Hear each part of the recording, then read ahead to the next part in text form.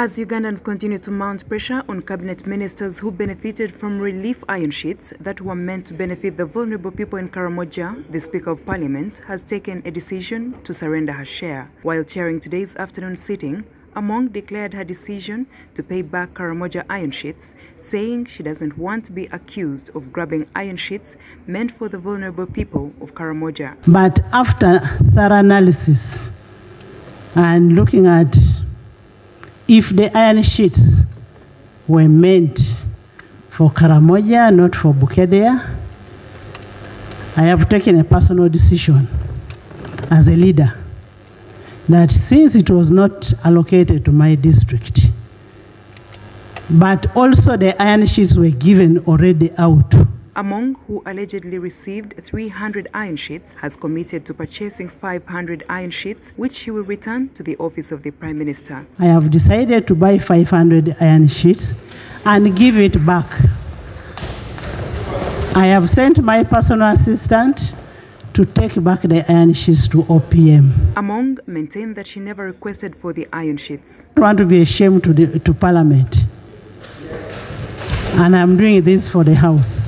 The Kira municipality legislator Ibrahim Ssemujju Nganda inquired into the whereabouts of the Prime Minister Nabbanja, who is yet to attend a single plenary this week. to find out if she has already been arrested because she took 3,000 uh, iron sheets.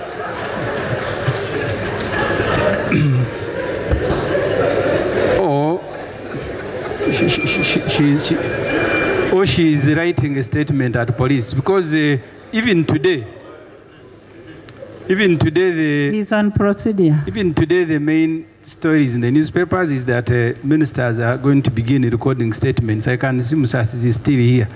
I don't know if he has finished his. Legislators have hailed the Speaker for her great sense of remorse and piled pressure on other implicated ministers to follow suit. You have actually gone back to the Bible days. Like Zacchaeus, when he got saved, he said, I will pay double. And I would implore and urge uh, those, and they are from the side of my majority, Madam Speaker, uh, to borrow relief and also uh, do likewise. It's a very sad one, but we thank you for your leadership. We thank you for your integrity. We thank you for taking the first step. And I want to inform this House, when this, this matter came for, before, Madam Speaker guided me. When we petitioned her, because we were in recess, on the same day, she quickly said, this is an abominable. She referred this matter to the Committee of Presidential Affairs. And she has been following it up that we must get to the bottom of it because how can this be happening? And it could be happening to Bunyoro affairs, Luwero affairs, uh, Teso affairs, Northern Uganda. Because how do you explain the fact that even Namuyangu, who controls iron sheets, We also got iron sheets for Karamoja? when she has iron sheets, In Karamoja, we believe in the justice of restoration. If you steal somebody's cow, you pay it, you refund it. So I would implore on the others who received to refund it. However, some legislators noted that the Speaker's action was long overdue, saying Parliament's reputation has been damaged by the iron sheet scandal. of the speaker was putting parliament in a very awkward position.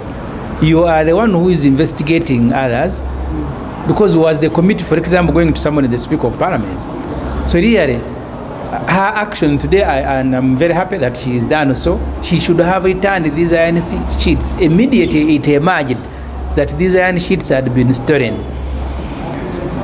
The people who work under Nabbanja, the office of prime minister, all of them should be in Luzira. President Yoweri Museveni directed for an expeditious inquiry into allegations of theft of iron sheets and other relief items that were meant for the Karamoja region, and this was confirmed by the police spokesperson Fred Enanga and the DPP spokesperson Jacqueline Okui on Monday during the weekly security briefing. by a joint team that comprises officers from the Office of the DPP, uh, the Directorate of CID, and uh, the State House Anti-Corruption Unit.